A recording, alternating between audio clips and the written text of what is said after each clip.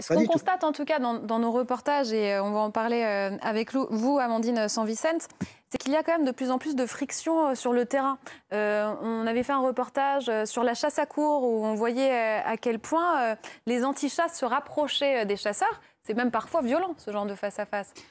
Ce qu'on peut dire, c'est que durant euh, tout le mandat d'Emmanuel Macron, euh, comme ça a été dit, euh, ça a été évoqué tout à l'heure, on a un gouvernement qui a fait des cadeaux aux chasseurs. La réduction du permis de chasse, sur certains quotas sur les, sur les oiseaux migrateurs. Là, on a des arrêtés qui vont réautoriser les chasses traditionnelles qui sont contraires à la directive européenne oiseaux de 2009. C'est pas fait, c'est pas. Ensuite, euh, oui, mais il y a une consultation publique, c'est la première étape à la publication d'arrêté. La chasse à glu, en revanche, non. la chasse à glu, c'était pas du tout un cadeau. sur ces, sur ces chasses traditionnelles dont on parle, il y a deux espèces, l'alouette des champs et les vanneaux huppés, qui sont sur la liste rouge euh, de l'UICN, donc qui sont quasi menacées en préoccupation mineure. Est-ce qu'on va attendre qu'elles soient en danger critique pour faire quelque chose? Donc aujourd'hui, on a clairement le lobby de la chasse qui fait la loi en France sur tout ce qui concerne la chasse. On l'a vu à de, à de maintes reprises. Et ce que je voudrais pas laisser passer, ce qui a été dit un peu tout à l'heure, c'est sur la, notion de ruralité qui est brandie en permanence. On a les chasseurs qui veulent diviser la France. Mais je voudrais dire aujourd'hui que les premières victimes humaines de la chasse, c'est les ruraux. Il y a des études d'opinion qui montrent que 80% des ruraux n'osent pas aller se balader en forêt parce qu'ils ont peur de se prendre une balle. Les chasseurs, c'est pas que des ruraux, il faut arrêter. Il y a beaucoup de chasseurs qui sont urbains. Regardez les études d'opinion. One Voice, vient d'en faire une avec euh, l'institut IFOP, euh, Ipsos, pardon, et on voit que euh, on a vraiment la population française qui veut une réforme de la chasse. Et je suis favorable à l'abolition des pratiques les plus cruelles, comme le déterrage des blaireaux, la chasse à court. Et il faut vraiment qu'on avance aussi également avec l'interdiction de la chasse deux jours par semaine. Ça apparaît être le minimum pour qu'on puisse se balader et cueillir des champignons sereinement le mercredi, le dimanche. Et aujourd'hui, en fait, les chasseurs, ils, gouvernent complètement. On voit que c'est les premiers à être reçus par le ministère de la Transition écologique. Je donne juste un exemple concret. Nous, ça fait depuis 2019 qu'on négocie, qu'on a des, des, travaux ministériels avec le ministère de l'écologie sur la question des cirques avec animaux, des delphinariums, des visons.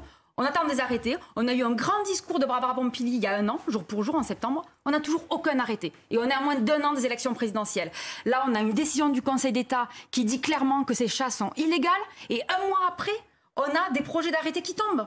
C'est scandaleux. Alors que, je répète, on est à la sixième extinction de la biodiversité. C'est ça, c'est qu'en même temps, il y a cette actualité-là, euh, il y a cette urgence écologique qui, est, euh, qui est là, euh, que l'on voit, on voit le dérèglement climatique. Il y a l'extinction de masse de la faune, de la flore aussi.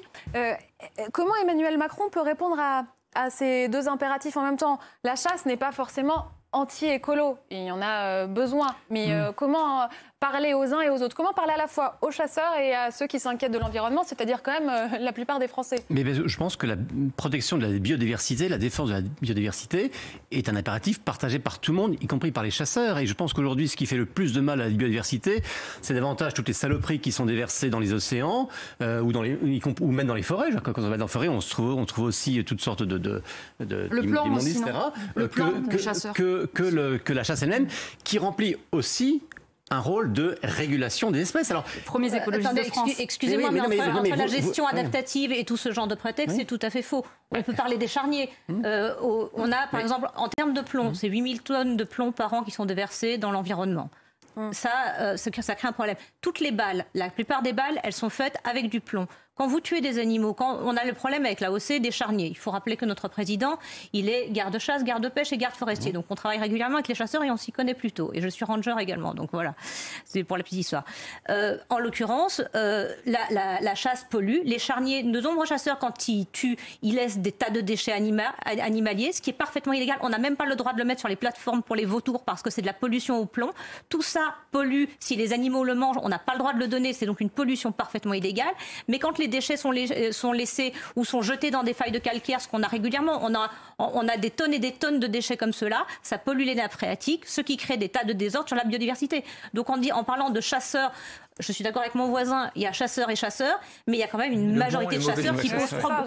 Il y a l'élevage aussi pour la chasse. on élève des animaux également, pour le, le, problème, c'est ce qu'on avait soulevé, c'est quand on parle mm. d'animaux domestiques, tous ces animaux d'élevage, on, parle de chasse de régulation. Comment se fait-il qu'on parle de chasse de régulation alors qu'il y a des élevages de chasse et qu'on les relâche régulièrement, ce qui crée une pollution génétique? Vous avez la perdrix, le colvert, il y a eu deux études qui mm. sont sorties et qui montrent par exemple les perdrix qui sont relâchées au moment de la chasse parce qu'il n'y a donc pas assez, donc il n'y a pas de problème de régulation. Quand vous relâchez ces perdrix, et celles qui ne sont pas tuées, celles qui meurent pas d'un arrêt cardiaque, celles qui meurent pas de faim, qui arrivent à se reproduire avec des espèces sauvages, affaiblissent. Donc ça crée une, une faiblesse, un affaiblissement génétique de l'espèce. Et aujourd'hui, les perdrix que nous avons ne résistent plus au froid, par exemple. Voilà la pollution génétique, voilà des tas de problèmes qui sont liés à la chasse. Des points qui sont très importants, euh, François Patria. Euh, c'est ce que je disais tout à l'heure. Il y a, il y a ces deux, il y a la, la, la préservation des espèces et en même temps, je le disais tout à l'heure, une nécessité aussi de la chasse et l'urgence écologique. Comment répondre à ces deux questions en même temps pour que les Français s'y retrouvent et l'impression qu'il y a des solutions concrètes? Je viens d'entendre beaucoup d'affirmations dans l'excès, dans les contre-vérités. J'en rappelle une. Sur les delphinariums et sur les arrêtés que Madame attend, la loi, elle vient au Sénat dans dix jours. Alors attendez que la loi soit votée avant que les arrêtés soient pris. On ne peut pas attendre avant. Elle a, elle a, été votée en première lecture à l'Assemblée nationale. la loi doit être votée par les deux assemblées. Donc les arrêtés ne peuvent pas être pris maintenant. On va peut-être s'occuper de la chasse d'abord. Ensuite, je considérais comme moi que les chasseurs, les chasseurs globalement, globalement défendent la biodiversité, défendent la réintroduction d'espèces. Aujourd'hui, la chasse adaptative, contrairement à ce que vous dites, elle existe. Les chasseurs demandent de ne plus chasser, par exemple, le grand tétra qui est en diminution. On demande aujourd'hui, la fédération demande à ce qu'on ne chasse plus un grand tétra en France. Les oies qu'on tue par quelques, pour quelques milliers en France, sont détruites par centaines de milliers au lance-flammes à Hollande après, parce qu'elles sont en surpopulation. Donc arrêtons de dire aujourd'hui que c'est les chasseurs qui menacent la biodiversité. Quant aux, déchets dont vous parlez, des chasseurs, je, suis dans une petite fédération de chasse communale, dans toutes les fédérations de chasse, dans toutes les chasses aujourd'hui, il est obligatoire de déverser les déchets d'animaux dans des bacs spécifiques que les carissages Oui, et ce n'est pas respecté, monsieur. Mais si, mais, si bien ah Non, non, non, excusez-moi, on a des cas tous les 15 jours et on a, on a porté plainte donc, euh, avec les fédérations de chasse. Le sur les nappes phréatiques n'existe pas. Ah, les nappes phréatiques n'existent pas, bah, c'est très bien. Bah, écoutez... L'apocalypse des nappes phréatiques dont vous parlez n'existe pas. Juste, juste je, voulais, je, voulais, aussi parler à Thomas Soulier. Mais quand même, on ne vous entend plus, François Patria, ça marche plus très bien la, liaison, mais on a l'impression quand même que ces, discours sont irréconciliables. Enfin, il y a, à chaque fois, on se parle, presque on s'insulte et, pas ça mène à Depuis Emmanuel Macron est président, je vais vous dire, depuis euh, des décennies euh, maintenant, ce sont deux secteurs qui sont irréconciliables. est ce que vous dites, madame, mais est-ce que vous dites que vous êtes contre toute forme de chasse? Je pense qu'il faut qu'on interdise très rapidement les chasses les plus cruelles.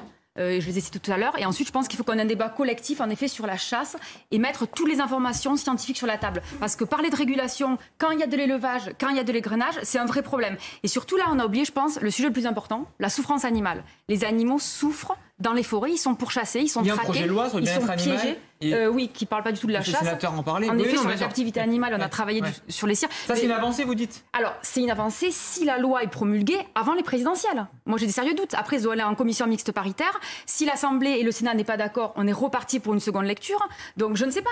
Enfin, je ne sais pas. Le temps passe et pour le moment, on est à la fin du mandat. Il n'y a eu aucune avancée sur la condition animale. Mais juste rappelons que la chasse, ce sont des animaux qui sont traqués, piégés, collés, euh, poignardés, tués. Euh, et que c'est pour un loisir. C'est un loisir, c'est ça la réalité, et que c'est des animaux qui souffrent. En tout cas, il y a cet agenda qui nous est donné. On verra s'il est respecté. Merci beaucoup d'avoir été avec nous ce soir.